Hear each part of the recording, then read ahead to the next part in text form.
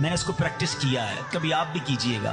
कभी अकेले कहीं बैठे हों, पैदल चल रहे हों, या कहीं किसी जगह पर वॉक कर रहे हों, आँखें बंद करें, हाथ में तस्वीर लें, और दरूद पढ़ते रहें, और ये सोचते रहें कि महशर का मैदान है, और मैं जितने दरूद पढ़ता जा रहा हूँ, इतने कदम नबी पाक के करीब होता जा रहा हूँ। जितने दरूद पढ़ता जा रहा हूँ, मैं उतने कदम आका के करीब होता जा रहा हूँ। आप यकीन करें, तस्वीर रखने को जीनी चाहे, और करीब होना है ना?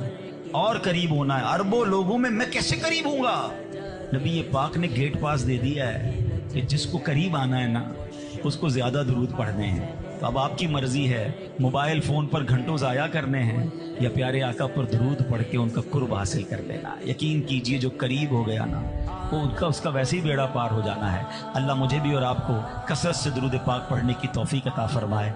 आइए मिलकर मोहब्बत के साथ बावाज बुलंद पाक पढ़ ले। सल्लु अलल हबीब सल्लल्लाहु तआला अला सल्लल्लाहु अलैहि वसल्लम।